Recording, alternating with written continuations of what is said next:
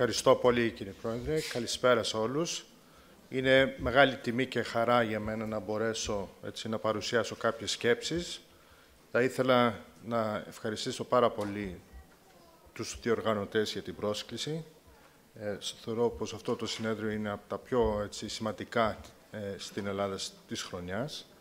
Ε, και θα ήθελα να σας πω δύο λόγια και να μοιράσω εμπειρίες δικές μας από την εταιρεία που εργάζομαι ε, και σε ελληνικό επίπεδο αλλά και σε ευρωπαϊκό επίπεδο.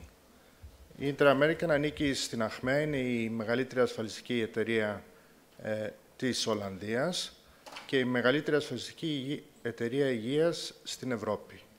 Ε, με πάνω από 200 χρόνια έτσι, ιστορία. Ε, η ΑΧΜΕΑ συμμετέχει σε μια ευρωπαϊκή κοινοπραξία ε, σε 8 μεγάλες άλλες εταιρείες που συνολικά καλύπτουν 23 χώρες. Πάνω από 40 εκατομμύρια ασφαλισμένους και η εμπειρία που έχουμε, κάναμε μια πρόσφατη μελέτη για να καταλάβουμε και εμείς σαν ασφαλιστική βιομηχανία ε, πώς ε, διαμορφώνεται το κοινωνικό κράτος, ε, πώς επηρεάζεται. Και αυτές είναι οι χώρες στις οποίες, αν θέλετε, έχουμε έτσι ε, εμπειρία. Ουσιαστικά υπάρχουν δύο μοντέλα και αυτό νομίζω το ξέρετε πολύ καλά. Το η κοινωνική πρόνοια έχει δύο αρχιτέκτονες, έναν Γερμανό, τον Otto von Bismarck και έναν Άγγλο, τον William Beveridge, οι οποίοι σχεδιάσαν ένα κοινωνικό σύστημα ε, που η χρηματοδότηση ίσως και η δομή είναι διαφορετική. Στην, στο Beveridge είναι κυρίως από φόρους, ενώ στο γερμανικό σύστημα είναι κυρίως από εισφορές. Όμως, ε, αυτό που είχαν σαν αποτέλεσμα ήταν ένα σύστημα το οποίο θα έχει κάποια έτσι, συμμετοχή είτε το κράτος είτε ο εργαζόμενος και ο εργοδότης να μπουν οι πόροι σε ένα σύστημα μέχρι μια ηλικία να καλύπτεται ε, η εισφορά και από εκεί και πέρα αυτό το σύστημα να καλύπτει τις βασικές ανάγκες της σύνταξης και της υγείας ε, των ατόμων και του πληθυσμού. Ε, όταν σχεδιαστήκαν και τα, αυτά και τα δύο συστήματα, ε, η υπόθεση με, το οποίο, με την οποία σχεδιαστήκαν ήταν πως ο μέσο όρος ζωής είναι περίπου στα 63 με 65. Αυτό πλέον δεν ισχύει. Αυτό είναι κοινό σημείο και στα δύο συστήματα. Και ξέρουμε σήμερα πως ο μέσος όρος ζωής ε, στην Ευρώπη είναι κοντά στα 80 και αυτό αυξάνεται. Άρα υπάρχει περιορισμός, αν θέλετε, στους σπόρους. Υπάρχει ένα σχεδιαστικό πρόβλημα πλέον ε, και στα δύο συστήματα. Ε, κοιτάξαμε λοιπόν ε, τις διάφορες χώρες ε, και ποια είναι αυτή η τάση, πώς επηρεάζεται αυτό το κοινωνικό μοντέλο, είτε είναι Beveridge είτε είναι Bismarck, ποια είναι η κατεύθυνση. Ε, και αυτό που βλέπουμε είναι πως και στην περίπτωση του Bismarck και του Beveridge δεν φτάνουν πλέον οι πόροι να καλύψουν και τη σύνταξη και την υγεία. Ε, υπάρχει μια σύγκληση, αν θέλετε, σε ένα μοντέλο που λέγεται BizRich, ε, που συνδυάζει τους πόρους ε, του κράτους από φορολόγηση και της εισφοράς, ε, αλλά η πιο σημαντική κατεύθυνση είναι πως τελικά ε, δεν, φτάνει αυτή, δεν φτάνουν αυτοί οι πόροι και όλο και περισσότερο το βάρος πέφτει στον ιδιώτη, στην ίδια δαπάνη. Ε, και κυρίως για καταστροφικούς έτσι, λόγους, αυτό σε πολλές χώρες μεταφράζεται σε ιδιωτική ασφάλιση ή συμπληρωματική ασφάλιση. Επίσης, αυτό που κάναμε είναι, αντί να κοιτάξουμε από την οπτική γωνία του, του παραδοσιακού μοντέλου Beveridge και Bismarck, ε, είδαμε διάφορες ζώνες, τις οποίες τις καταγράψαμε, τις μελετήσαμε και αυτό που είδαμε είναι πως οι χώρες που, αν θέλετε, προηγούνται στην μεταρρύθμιση, στην ε, συμπληρωματικότητα, είναι δύο οι χώρες, είναι η Ολλανδία και η Ελβετία σε ευρωπαϊκό επίπεδο, από τις, τουλάχιστον από τις χώρες που μελετήσαμε εμείς.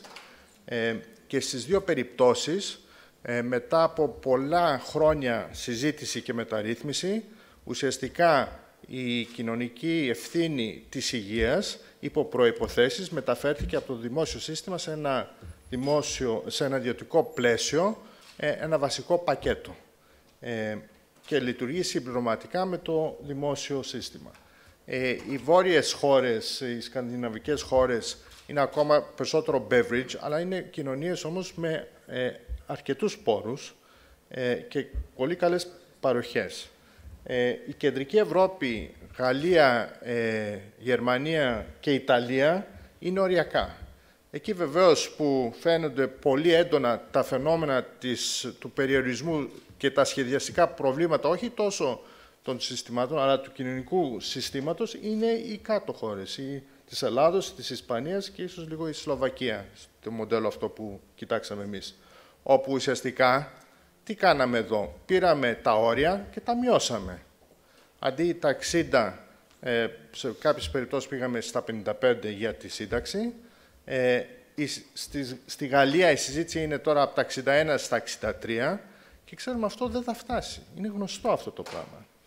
Ε, είναι επίσης πολύ σημαντικό πως το επίπεδο υγείας συνδυάζεται έμεσα και άμεσα με την οικονομική ανάπτυξη σε κάθε χώρα. Και ξέρουμε επίσης πως ε, το μοντέλο, το παραδοσιακό μοντέλο υγείας αλλάζει. Και ο βασικός λόγος που αλλάζει η υγεία είναι γιατί αλλάζει το προφίλ της ασθένειας. Η υποδομή στην Ευρώπη ε, είχε σχεδιαστεί πριν 50 και 70 χρόνια, ήταν μια υποδομή πρωτίστως για λοιμώξεις. Τα τελευταία 20-30 χρόνια είχαμε μια εποχή καρδιαγκιακής, έτσι αν θέλετε, παρέμβασης. Έχουμε μπει ήδη στην εποχή του καρκίνου όμως και το επόμενο έτσι, ε, μοντέλο είναι η εποχή των ε, νευρολογικών παθήσεων, της dementia ε, και Alzheimer's. Αυτό απαιτεί άλλη υποδομή ε, και πρωτίστως το κομμάτι που λέγεται χρόνια πάθηση. Οι χρόνιες παθήσεις είναι το μεγαλύτερο κομμάτι δαπάνης υγείας σε, όποια, σε όποιο σύστημα υγείας κοιτάξει κανείς και δεν απαιτεί επιτοπλίστων νοσοκομιακή έτσι, αντιμετώπιση.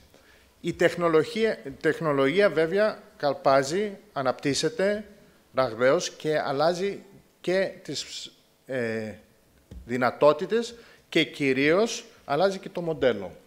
Ε, βλέπουμε σε πολλές χώρες μια σύγκληση του ιδιωτικού και του, ε, και του δημόσιου τομέα και η μεγάλη, μεγάλη πρόκληση παντού είναι το κόστος. Πώς μπορεί κάποιος να διαχειρίζεται και να ελέγχει το κόστος. Το τελικό συμπέρασμα είναι πως ε, στις περισσότερες έτσι, χώρες το υπάρχον σύστημα υγείας δεν είναι βιώσιμο. Θέλω να τονίσω πως δεν πιστεύω πως υπάρχει ένα ιδανικό σύστημα υγείας, ούτε πιστεύω πως μπορούμε να πάρουμε ένα μοντέλο, ένα σύστημα από άλλη χώρα και να το βάλουμε στην Ελλάδα, χωρίς να το προσαρμόσουμε στις τοπικές έτσι, ε, ανάγκες, στις τοπικές συνήθειες και στο, στο, στο τοπικό νομικό πλαίσιο. Ε, έχουμε μπει όμως σε μια καινούρια ε, σε ένα καινούριο πλαίσιο μοντέλου, όπου πλέον μετράει η αξία. Και η αξία είναι η σχέση της, της ποιότητας με το κόστος. Αυτό σημαίνει ε, και φαίνεται να αναπτύσσεται σε αρκετές χώρες και κυρίως στη Βόρεια Αμερική με ολοκληρωμένες μονάδες και συστήματα. Ε, είναι πάρα πολύ σημαντικό να μπορεί να μετρήσουμε τα αποτελέσματα και να αλλάξουμε τον τρόπο πληρωμής. Γιατί στον ιδιωτικό τομέα κυρίως, ο τρόπος πληρωμής, το λεγόμενο αμοιβή κατά πράξη, το fee for service, έχει πάρα, πάρα πολύ πολλά προβλήματα και γι' αυτό το λόγο βλέπουμε μια στροφή σε ε, νέα συνολική πληρωμή, bundle payments όπως λέγονται. Ε, ποια είναι η πραγματικότητα στην Ελλάδα. Η πραγματικότητα είναι πως ο Έλληνας πολίτης πληρώνει δύο φορές για το ίδιο πράγμα. Πληρώνει τις εισφορές, τους φόρους και ένα πάρα πολύ μεγάλο μέρος της κοινωνίας πληρώνει είτε από, τσέπη, από την τσέπη ή ιδιωτική ασφάλιση για το ίδιο πράγμα. Ε, και ο ιδιωτικός και ο δημόσιος τομέας ε, είναι εστιασμένοι στο νοσοκομείο. Αυτό το μοντέλο πλέον ανήκει στο παρελθόν. Το, το μοντέλο του μέλλοντος είναι εξονοσοκομιακά, είναι η πρωτοβάθμια περίθαλψη τόσο στο ιδιωτικό τομέα όσο και στο δημόσιο τομέα. Ε, είναι γεγονός πως οι ειδήσεις της ιδιωτικής ασφάλισης είναι σε χαμηλά επίπεδα στην Ελλάδα. Ε, και αυτό προβληματίζει και κάθε χρόνο που σε αυτό το συνέδριο είναι ο κύριος Ισούρας συνήθως και ρωτάει το ερώτημα γιατί ο ιδιωτικός τομέας δεν έχει την ανάπτυξη που θα, μπορούσε να έχει, δεδομένου πως ε, σχεδόν 40% των δαπανών στην υγεία είναι ιδιωτικές δαπάνες. Άρα γιατί μόνο 10% του πληθυσμού έχει ιδιωτική ασφάλιση; Αυτό μας προβληματίζει, όπως καταλαβαίνετε. Πριν 20 μέρες είχαμε τη χαρά να φιλοξενήσουμε στην Ελλάδα ε, τους ηγέτες, τους CEOs από 15 χώρες των μεγαλύτερων ασφαλιστικών εταιριών ε, από τον κόσμο, στον κόσμο. Ήταν ο, ο πρόεδρος της Kaiser Permanente, για όσους ξέρετε, η Kaiser είναι μεγάλη εταιρεία από την Αμερική, της Aetna, Medibank από Αυστραλία, ε, ο δικός μας πρόεδρος από Ολλανδία. Τέλος πάντων ήταν 15 ηγέτες ε, που συνολικά αυτές οι εταιρείες καλύπτουν 115 εκατομμύρια ασφαλισμένους σε διάφορες χώρες ε, παγκοσμίως.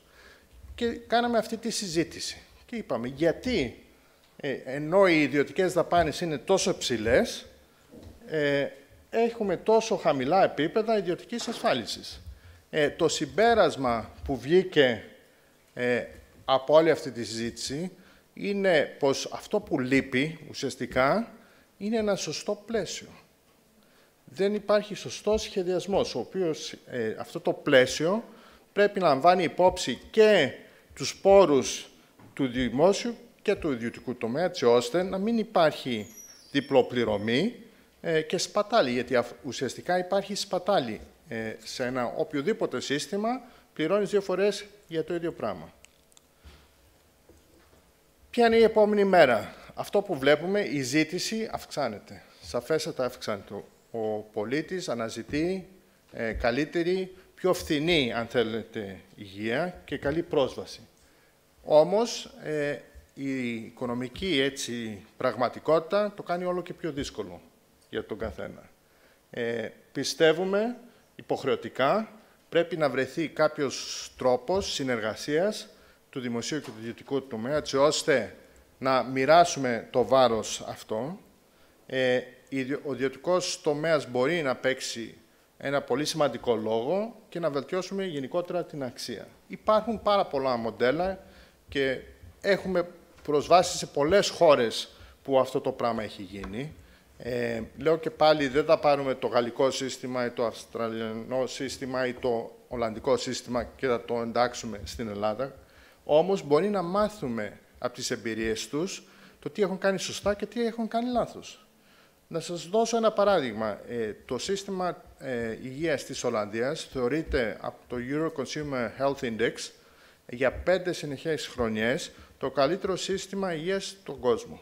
Ε, και ε, η ερώτηση είναι τι κάνανε ε, σε αυτή τη σχετικά μικρή χώρα σωστά. Ε, τους πήρε 15 χρόνια σχεδιασμό, συζήτηση, πριν ξεκινήσουν την υλοποίηση για να φτάσουν σε ένα σύστημα το οποίο ε, ήταν δίκαιο και σωστό για αυτή τη χώρα. 15 χρόνια ήταν η συζήτηση. Και βεβαίως έγινε και σωστή υλοποίηση. Και αυτό που είπε ο κύριος Κοντός, συμφωνώ απόλυτα μαζί. Εδώ που είμαστε τώρα, πρέπει να επιμείνουμε στην υλοποίηση, να βελτιώσουμε αυτό που έχει γίνει. Το να αλλάζουμε κάθε χρόνο, κάθε δεύτερο χρόνο και κάθε τρίτο χρόνο κατεύθυνση, είναι ό,τι το χειρότερο, πιστεύω. Γιατί χάνουν, πάμε μπρος, πίσω, μπρος, πίσω, σπαταλάμε και χρόνο και πόρους. Ε, Ποιες είναι οι προϋποθέσεις όμως, ε; είναι βασικό αυτό. Σε κάθε περίπτωση στη συζήτηση που κάναμε με τους άλλους έτσι, ε, τις άλλες χώρες, υπάρχει διάλογος ιδιωτικού και δημοσίου τομέα. Υπάρχει ένα κοινό όραμα. Ε, δυστυχώς, ε, στην Ελλάδα ε, δεν υπάρχει έλλειψη ε, σωστό και σοβαρό διαλόγου. Ε, δεν έχουμε ένα στόχο ε, και επίσης η πραγματικότητα είναι πως ε, δεν έχουμε και τη σωστή υποδομή να μετρήσουμε, να, να βάλουμε μικρά βήματα. Αυτό χτίζεται βήμα-βήμα. Δεν είναι μια έτσι, μεταρρύθμιση.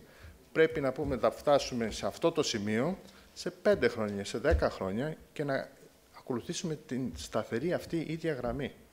Αυτό λείπει δυστυχώς στην Ελλάδα. Ε, δεν έχω κάτι άλλο να σας πω. Πιστεύω πως είναι μονόδρομος. Θα πρέπει να δημιουργηθεί ένα σωστό πλαίσιο, ένας χάρτης ε, συνεργασίας ιδιωτικού και δημοσίου τομέα, ε, να επιμείνουμε. Ε, το βάρος είναι πάρα πολύ μεγάλο. Θεωρώ πως αν στηθεί και ένα βιώσιμο και σωστό μοντέλο στην ιδιωτική ασφάλιση, αυτό μπορεί να ελαφρύνει ε, πολύ γρήγορα και αποτελεσματικά το βάρος στο δημόσιο σύστημα. Ευχαριστώ για την προσοχή σας.